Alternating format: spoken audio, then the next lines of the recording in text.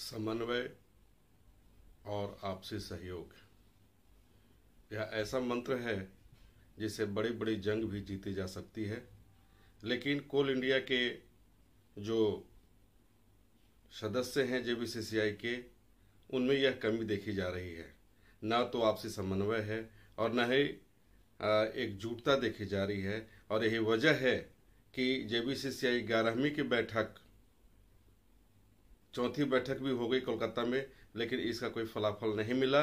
उल्टे, प्रबंधन की ओर से एमजीबी के नाम पर तीन परसेंट और कोल इंडिया की अनुसंगी इकाई C M P D I L को एमईसीएल के साथ मर्ज करने का फरमान जारी कर दिया गया। नमस्कार, मैं सत्येंद्र कुमार सिंह। मैं सभी का स्वागत करता हूँ। मैं आज काफ़ी मंथन के बाद कई लोगों से बातचीत करने के बाद इस नतीजे पर पहुँचा हूँ कि पिछले दिनों जो भी कोल इंडिया, ट्रेड यूनियन व अन्य जिस तरह के भी परिवेश में, जिस तरह की भी घटनाएँ घटी है, उस घटनाओं में यह जमकर जो भी तथ्य उभरे हैं, उन तथ्यों के आधार पर प्रबंधन ट्रेड यूनियन के नेताओं के साथ साथ मजदूरों के शोषण पर लगी हुई है। हालाँकि कोरोना काल में भी कोयला मजदूर, कोयला खदानों में जाकर कोयला का उत्पादन किया, राष्ट्र को कोयला दिया, जिसके कारण कई बिजली घरों में जहाँ बंदी के कगार पर थे, उन बिजली घरों को कोयला उत्पादन कर वहाँ तक देने का काम कराया। बावजूद इसके, जब उनके भविष्य पर, यानी कोल इंडिया के जो मजदूर हैं, उनके भविष्य, उनके एमजीबी उनका जो वेतन है, उस पर या अन्य सुविधाओं पर जब चर्चा होने लगती है, तब प्रबंधन पता नहीं यूनियन के आपसी समन्वय नहीं होने का जो नतीजा है, वह उसके सामने आ जाता है और वह अपने मन के मुताबिक काम करने लगता है। इस बार कोलकाता में जो बैठक हुई, उस कोलकाता की बैठक में भी कुछ ऐसा ही सामने आया कि एक संगठन के बड़े नेता ने अपने छोटे नेता को जमकर सार्वजनिक रूप से डांट फटकार लगाया। अब इसका खुलासा हम कल के एपिसोड में करेंगे। कुछ संगठन के किस संगठन के लोग थे जिन्होंने ऐसा किया है? इसके पूर्व में भी एक और संगठन के लोग बैठने उठने को लेकर जो कर रहे थे और इसके अलावा अन्य कई कारगुजारियाँ हुई हैं जिसके कारण प्रबंधन यह समझ चुका है कि कोल इंडिया में अभी तो केंद्रीय ट्रेड यूनियन के नाम पर महज चार ही है बीएमएस, एचएमएस, सी टू और एटक और इन चारों में आपसी कोई समन्वय कोई आपसी सहयोग नहीं है। हालाँकि कई लोगों का यह मानना है कि पिछले दो दिनों के हड़ताल में यह समझ में आ गया प्रबंधन को, गवर्नमेंट को, कि हम जो चाहेंगे, जैसे चाहेंगे, वैसे कर लेंगे। मजदूर संगठन के लोग मेरा कोई कुछ नहीं बिगाड़ पाएगा। 22 अप्रैल को इधर होना है जेबीसीसीआई की बैठक और वहीं 13 अप्रैल को कोयला मंत्रालय द्वारा पत्र निर्गत कर दिया गया, पत्र जारी कर दिया गया कि सीएमपीडीआई एल और एमईसीएल को मर्ज कर देने का परमिशन मर्ज देने के लिए मर्ज करने के लिए अप्रूवल मंत्रालय द्वारा मिल गई है। संबंधित लोगों को संबोधित करते हुए मिनिस्ट्री ऑफ़ माइंस के डायरेक्टर टेक्निकल प्रदीप सिंह ने लिखा था, या पत्र में लिखा है, the annual of coal mines and parliamentary affairs has approved the merger of M P D I L इन वाक्यों से यह स्पष्ट है कि यह अप्रूव्ड हो चुका है। अब इसके लिए मजदूर संगठन जब तक मजबूती के साथ एक होकर नहीं लड़ेंगे, मजबूती के साथ एक होकर आगे नहीं बढ़ेंगे। इसका कोई रिज़ल्ट नहीं होगा और सीएमपीडीआईएल को कोल इंडिया से अलग करते हुए एमईसीएल के साथ मर्ज कर दिया जाएगा। हालाँकि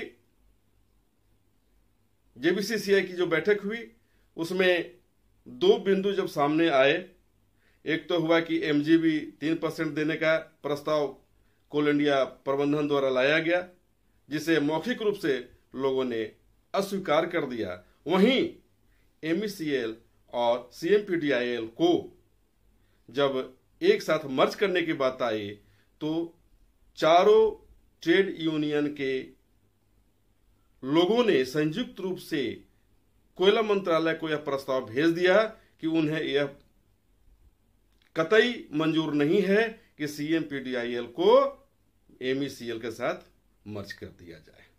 जब लिखित में मंत्रालय कोल इंडिया प्रबंधन के पास यह पत्र पहुँचा। तो संजोग कहा जाए कि इस पत्र का परिणाम कहा जाए कि इस पत्र से न केवल कोल इंडिया प्रबंधन, बल्कि सरकार भी दबाव में आ गई। और यही वजह है कि सीटू के और जेबीसीसीआई के जो सदस्य हैं डीडी रामानंदन उनके पास कोयला मंत्रालय के जो मंत्री हैं, कोयला मंत्री प्रहलाद जोशी जी का फ़ोन आया और उन्होंने कहा है कि इस मुद्दे को लेकर वे आपस में बैठकर बातचीत करेंगे। हमारा यही कहना है कि जब तक किसी मुद्दे को लेकर आपसी समन्वय नहीं होगा मजदूर संगठनों में, तब तक कुछ नहीं होने जा रहा है। मजदूरों के बीच यह काफ़ी असंतोष की स्थिति है कि आखिर हम, हमारा मांग, हमारे जो डिमांड्स हैं, उसे कौन पूरा कराएगा? उधर सशंकित हैं मजदूर संगठन के लोग कि 20-22 पिछले 20-22 को जो हड़ताल हुआ, उसमें जो स्थिति बनी, उसको लेकर वो लोग सशंकित हैं कि अगर हम नोटिस दे भी देते हैं प्रबंधन को तो किसके बल पे? कौन हड़ताल सफल करेगा? जब तक हड़ताल सफल नहीं होगा, प्रबंधन पर दबाव बनेगा नहीं। ऐसी स्थिति में जो भी ट्रेड यूनियन के लोग हैं, संयुक्त रूप से उन्हें सेमिनार करना चाहिए, संयुक्त रूप से उन्हें कंपनी वार। हम ये नहीं कह रहे हैं कि आप परियोजना वार चले जाइए, लेकिन कंपनी वार सेमिनार करके मजदूरों का विश्वास जीतिए। इसलिए कि अब जो भी ट्रेड यूनियन के लोग हैं, उन पर किसी भी मजदूरों का विश्वास नहीं रहा है। चाहे वह बीएमएस हो, चाहे वह सीटू हो, चाहे वह एटक हो, चाहे वह एच एम एस हो। इसका कारण यह है कि सभी जितने भी लीडरान हैं, पूर्व में भी कई एपिसोड में हमने कह चुका है, और खुद ही बड़े बड़े नेताओं ने भी स्वीकार किया है कि ट्रेड यूनियन के जो भी लोग हैं, वह अब कॉमर्शलाइज्ड हो गए हैं, वह मजदूर हित की बात नहीं करते जब तक मजदूर हित की बात नहीं करेंगे, जब तक मजदूरों का अब मजदूरों का भरोसा नहीं जीतेंगे, तब तक ना तो स्ट्राइक सफल होगा और न ही आप मजदूरों को कुछ दिला पाएँगे। बेहतर यही है कि सभी संगठन के लोग, जो भी हैं बड़े बड़े नेता, उन लोगों को सेमिनार करना चाहिए। संयुक्त रूप से ये नहीं कि बीएमएस अलग कर रहा है एचएमएस अलग कर रहा है सी टू अलग कर रहा है एटक अलग कर रहा है, नहीं। संयुक्त रूप से जब तक आप एक नहीं होंगे तब तक आप मजदूरों को कुछ दिलाने में सक्षम नहीं होंगे, क्योंकि प्रबंधन आपकी जो असलियत है, आपकी जो वास्तविकता है, वह जान चुका है, उसे समझ में आ गया है कि आप लोगों में आपसी सामंजस्य है ही नहीं। यही वजह है कि जेबीसीसीआई में एक नेता कुछ बोलता है तो दूसरा नेता उसको कंट्राडिक्ट कर देता है, डांट देता है। तो आखिर कैसे आपको मिलेगा न्याय कैसे मिलेगा आपको सुविधा? कैसे दी जाएगी आपको सुविधाएँ? अब सोच लीजिए कि अभी तक पिछले पाँच सालों में पिछले एपिसोड में हमने कहा था कि पिछले पाँच सालों में एमजेबी तीन परसेंट किसी को कभी भी नहीं मिला। और अगर इस बार तीन परसेंट एमजीबी मिलता है, बहुत अगर दवा बनाएँगे तो है एमजीबी जाकर के आपको पहुंचेगा सात परसेंट पर वह भी आपके लिए नुकसानदेह है। बात रह गई मर्जर की तो मर्जर का जब तक आप विरोध नहीं करेंगे जम करके, तब तक आप उसमें भी सफल नहीं होंगे। और नतीजा यह होगा कि सीएमपीडीआईएल एमईसीएल में चला जाएगा। और जब एमईसीएल और सीएमपीडीआई एक साथ हो जाएगा तो सीएमपीडीआईएल कोल इंडिया से अलग कंपनी हो जाएगी।